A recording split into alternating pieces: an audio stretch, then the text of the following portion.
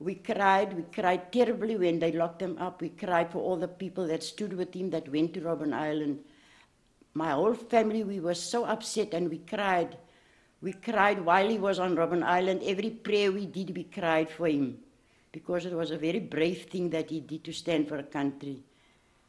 And when he was locked up and all the news that came about him and the way they treated them in the jail and everything, every time we had sad news, it was a crying thing.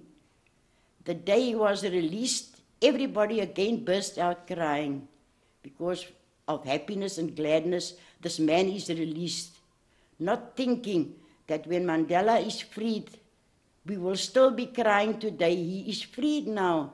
And we are so happy that he's freed. And we cried and we really thought we're going to stop crying when he comes out.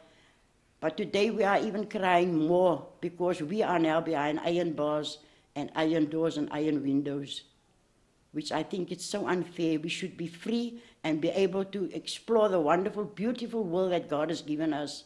We can't walk in the park. We can't stand on our stoop at night. We can do nothing. So unfair.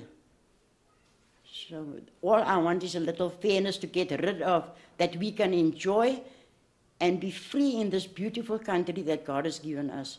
It's so beautiful and we can all live like sisters and brothers. Why? Why must we be behind iron bars? I'd like to know.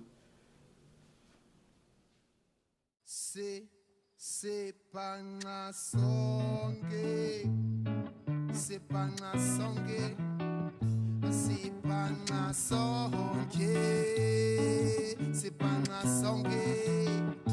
sepanxa sonke sepanxa sonke